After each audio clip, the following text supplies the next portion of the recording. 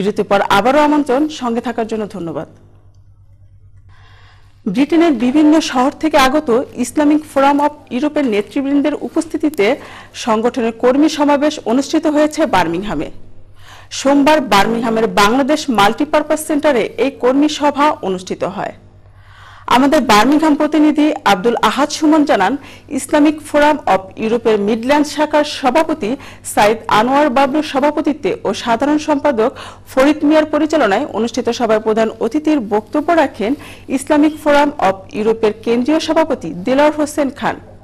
বক্তব্য রাখেন কেন্দ্রীয় সহসভাপতি আতিকুর রহমান, জিলু, কোষাধ্যক্ষ নেসার আহমেদ, লুৎফর রহমান বেলাল, তোফায়েল আহমেদ প্রমুখ।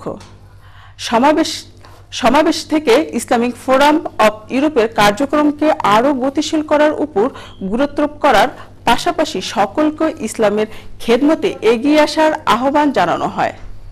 সমাবেশে বিপুল সংখ্যক মহিলারাও যোগ দেন।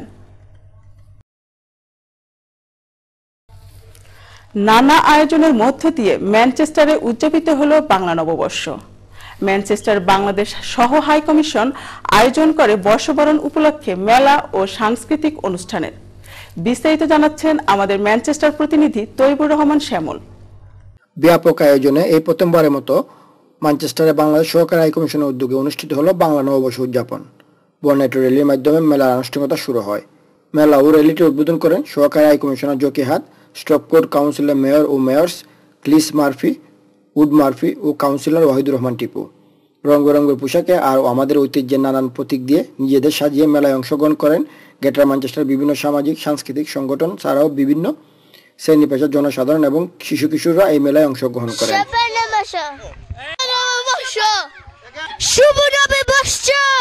র্যালিটি ম্যানচেস্টার বাংলাদেশ হাউস প্রাঙ্গন থেকে শুরু হয়ে বিভিন্ন এলাকা ঘুরে একই জায়গায় এসে শেষ হয়। র্যালি শেষে মেলা প্রাঙ্গণে আয়োজিত বাংলাদেশের ঐতিহ্যবাহী পান্তা ইলিশ ছাড়াও বিভিন্ন ধরনের খাবার স্টল এবং বিভিন্ন দেশীয় পণ্য নির্মিত স্টলে আগত অতিথিদের ভিড় ছিল লক্ষ্য করার মতো। অপরাহ্নে মেলাতে উপস্থিত হন Manchester lord mayor Naimul Hasan. তিনি মেলাটি উপভোগ করেন এবং বলেন organising event for the community bringing everybody together to celebrate this wonderful and congratulation them well done the way is organised as well lovely to see this happy new year to everyone শিল্পীরা বাংলাদেশের জনপ্রিয় গান গেয়ে মন মাতিয়েছেন মেলা আগত অতিথিদের।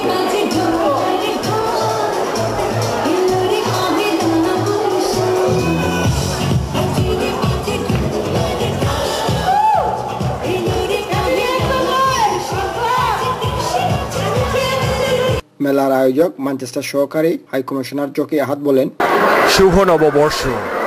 এই প্রথমবারের মতো ম্যানচেস্টারে বাংলাদেশ সহকারী হাই কমিশন বাংলার নববর্ষ উদযাপন করছে মেলার মাধ্যমে।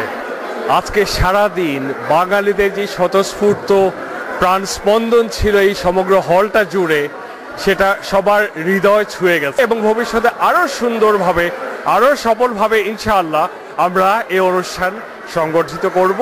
সেই জন্য আপনাদের সবার ঐকান্তিক সহযোগিতা একান্তভাবে কাম্য। দেশ ও প্রবাসে বৈশাখের এই আনন্দটুকু পৌঁছে যাক বাংলাদেশের প্রতিটি ঘরে ঘরে। ম্যানচেস্টার সহকারী হাই কমিশনের মতো ম্যানচেস্টারের অন্যান্য সংগঠনগুলো এ ধরনের প্রোগ্রামে এগিয়ে আসবে, এটাই যেন আগত অতিথিদের প্রত্যাশা। ম্যানচেস্টার থেকে Taibur Rahman Shyamal channel I news Bangladesh জাতীয়তাবাদী দল কিতলি শাখার উদ্যোগে কিতলির স্থানীয় একটি রেস্টুরেন্টে বাংলা নববর্ষ উদযাপন উপলক্ষে আয়োজন করা হয় আলোচনা সভার। বিস্তারিত দেখুন শেখ মোহাম্মদ লায়েক মিয়ার রিপোর্টে। বাংলাদেশ জাতীয়তাবাদী দল কিতলি শাখার উদ্যোগে বাংলা নববর্ষ উদযাপন উপলক্ষে আজ কিতলির স্থানীয় একটি রেস্টুরেন্টে এক আলোচনা সভা, শুভেচ্ছা বিনিময় ও দলীয় সদস্য ফর্ম বিতরণের আয়োজন করা হয়। শুরুতে পবিত্র কোরআন থেকে তেলাওয়াত করেন হাফিজ আতাউর। নেসার আলীর পরিচালনায় অনুষ্ঠিত সভায় সভাপতিত্ব করেন কিতলি বিএনপির আহ্বায়ক সালেহ আহমদ। অনুষ্ঠানে প্রধান অতিথি হিসাবে উপস্থিত ছিলেন সিরাজ মিয়া ও বিশেষ অতিথি হিসাবে উপস্থিত ছিলেন শমসু মিয়া। অনুষ্ঠানে আরও বক্তব্য রাখেন কবির উদ্দিন, ইলিয়াস আলী, তোফাজ্জুল আলী, আনসার আলী, ফুলজার আহমদ, নজরুল ইসলাম, ইকবাল আহমদ, হাজি থৈমুস আলী, মুজাহিদ আলী, আনোয়ার আলী, নজমুল ইসলাম, আব্দুর রব, জুনেদ আহমদ ও সুহেল প্রমুখ। বক্তারা তাদের বক্তব্যে বর্তমান সরকারের সমালোচনা করে বলেন, আওয়ামী লীগ সরকার স্বৈরাচারী কায়দায় দেশে হত্যা, গুম, খুনের রাজনীতি শুরু করে জনজীবনকে দুর্বিষহ করে তুলেছে। এবং উদ্দেশ্য প্রণোদিতভাবে মামলা দিয়ে বিএনপির নেতাকর্মীদের হয়রানি করছে। তারা গ্রেফতারকৃত সকল নেতাকর্মীদের মুক্তি, মিথ্যা মামলা প্রত্যাহার ও বিএনপি নেতা এম ইলিয়াস আলীর সন্ধানের জোর দাবি জানান। এছাড়া জাতীয়তাবাদী শক্তিকে আরও শক্তিশালী করার জন্য সকল নেতাকর্মীদের ঐক্যবদ্ধ হয়ে কাজ করার আহ্বান জানান। পরে দলীয় সদস্য ফর্ম বিতরণের মধ্য দিয়ে অনুষ্ঠানের সমাপ্তি ঘটে। কিতলি থেকে শেখ মোহাম্মদ লায়েক মিয়া, চ্যানেল আইন। হবিগঞ্জে নবীগঞ্জ উপজেলার নয় মৌজা এলাকায় মেধাবী ছাত্র হেবেন চৌধুরীর হত্যাকাণ্ডের ঘটনায় প্রকৃত আসামিদের গ্রেপ্তারের দাবিতে প্রবাসী নয় মৌজা এলাকাবাসীর উদ্যোগে প্রতিবাদ সভা অনুষ্ঠিত হয়েছে। মঙ্গলবার লাভবড়ার রুতলি অডিটোরিয়ামে আয়োজিত সভায় সভাপতিত্ব করেন প্রবীণ কমিউনিটি নেতা দিলওয়ার হোসেন চৌধুরী। এতে অতিথি হিসাবে বক্তব্য রাখেন কমিউনিটি নেতা বদরুজ্জামান চৌধুরী, শফিক মিয়া, শেখ গফুর মিয়া, জাকির হোসেন দায়ান, অনরুদ্দিন চৌধুরী জাহিদ, ফখরুদ্দিন, আনহার মিয়া, ব্যারিস্টার আব্দুল মুজিদ তাহের, তামিমুল ইসলাম চৌধুরী, মুজিবুর রহমান প্রমুখ। বক্তারা বলেন, হেবেন চৌধুরীকে তিন মাস আগে হত্যা করা হলেও আজ পর্যন্ত একজন আসামিকেও প্রশাসন গ্রেপ্তার করতে পারেনি। তারা বলেন, আসামিদের গ্রেপ্তারের জন্য ইতিমধ্যেই বাংলাদেশ হাই কমিশন, বাংলাদেশের স্বরাষ্ট্র মন্ত্রণালয় সহ প্রশাসনের উচ্চ পর্যায়ে স্মারকলিপি প্রদান করা হয়েছে। কিন্তু আসামিদের গ্রেপ্তারে নেওয়া হয়নি ব্যবস্থা। বর্ণাঢ্য অনুষ্ঠানের মধ্য দিয়ে ইতালি প্রবাসী বাংলাদেশিরা নতুন বছরকে বরণ করে নিয়েছেন। পহেলা বৈশাখ সকালে রাজধানীর তুস্কলানা পার্কে বাংলাদেশিদের আয়োজনে উৎসব মুখর পরিবেশের সৃষ্টি হয়। রোম থেকে আমাদের ইতালির ব্যুরো প্রধান হাবিবুর রহমান চুন্নু জানাচ্ছেন বিস্তারিত।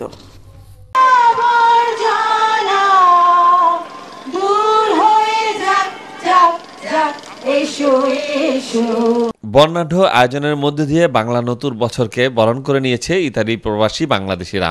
রাজধানীর তোস্কলনাবাসীদের উদ্যোগে পহেলা বৈশাখ স্থানীয় পার্কে আয়োজন করা হয় বর্ষবরণ উৎসবের। রোমের নারী পুরুষ শিশুদের এই মিলন মেলায় গৃহবধূরা নেচে গিয়ে উৎসবে মেতে ওঠে।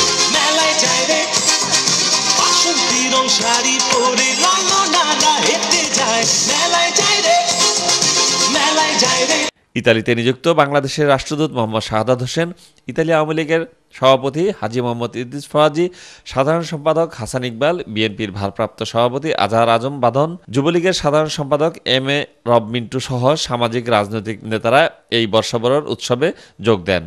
নয়না আহমেদের পরিচালনায় আয়োজিত এই উৎসবে শিশুদের নানা খেলাধুলা ছাড়াও স্থানীয় শিল্পীরা নৃত্য ও সংগীত পরিবেশন করেন।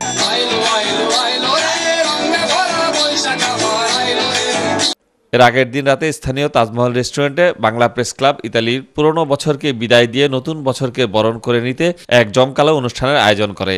বাংলা প্রেস ক্লাবের সভাপতি মনিরুজ্জামান মনির, সাধারণ সম্পাদক শাওন আহমেদ এনআরবিজাইয়ের ভারপ্রাপ্ত সভাপতি জমির হোসেন, প্রধান উপদেষ্টা লুৎফর রহমান ছাড়াও বিমান বাংলাদেশ এয়ারলাইন্সের country manager Shamsul Huda, Janata exchange কোম্পানির এমডি মাহবুবুর রহমান, জাহাঙ্গীর ফরাজি মিজানুর রহমান মিজান কেতুর নুরে আলম সিদ্দিকী বাচ্চু এতে অংশগ্রহণ করেন। উৎসব কমিটির আহ্বায়ক সায়রা হোসেন রানীর উপস্থাপনায় উৎসবের বিভিন্ন বিষয়ের উপর আয়োজন থেকে হাবিবুর রহমান চুন্নু ফ্রান্সে পহেলা বৈশাখে স্মারকলিপি বাঙালি সাংস্কৃতিক শিল্পী গোষ্ঠীর উদ্যোগে আইফেল টাওয়ারের সামনে উদযাপিত হয়েছে বৈশাখী অনুষ্ঠান। প্যারিস থেকে বিস্তারিত জানাচ্ছেন আমাদের ফ্রান্সের বিশেষ প্রতিনিধি এম এ হাশেম। স্বরলিপি বাঙালি সাংস্কৃতিক শিল্পী গোষ্ঠীর আয়োজনে ফ্রান্সে বৈশাখের প্রথম দিন বর্ষবরণ অনুষ্ঠানের আয়োজন করা হয়। প্যারিসের আইফেল টাওয়ারের মানবাধিকার চত্বরে নববর্ষের এই অনুষ্ঠানের শুরুতে এসো হে বৈশাখ গানের মাধ্যমে বাংলা নতুন বছর চোদ্দোশো একুশকে স্বাগত জানায় প্রবাসীরা।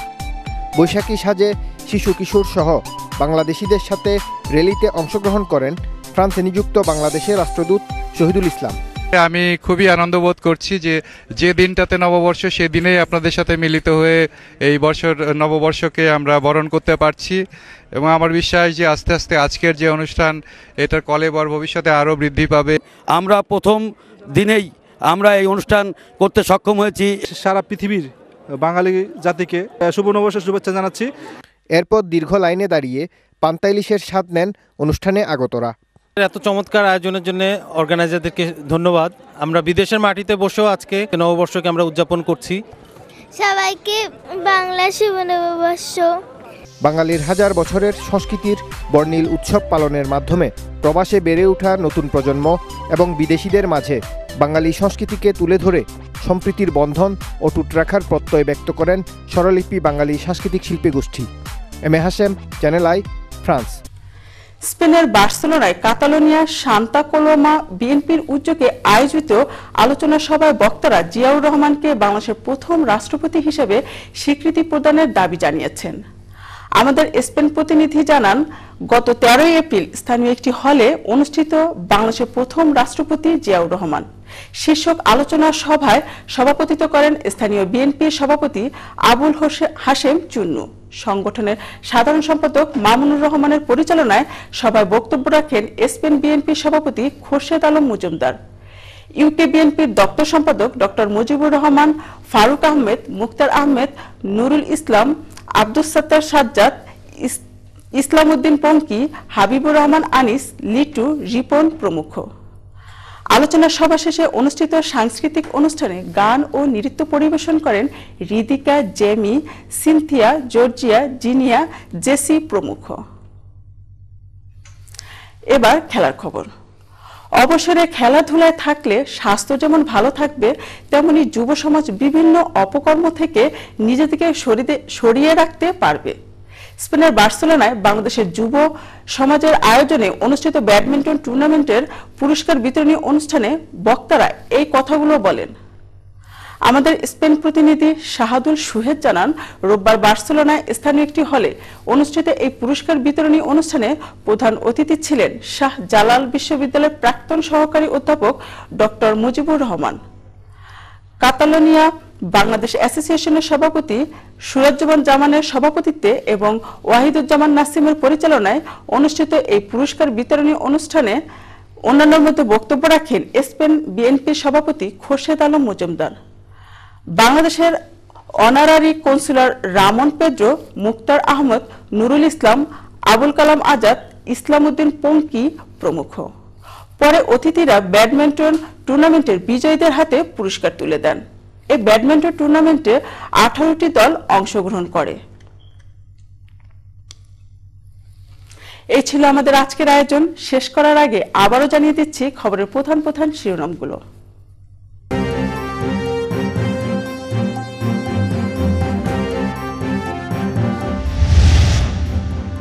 অক্সফোর্ড হাউস মিলনায়তনে বর্ণাঢ্য আয়োজনে বর্ষবরণ। তারেক রহমানের বক্তব্যের প্রতিবাদে প্রজন্ম একাত্তরের সভা।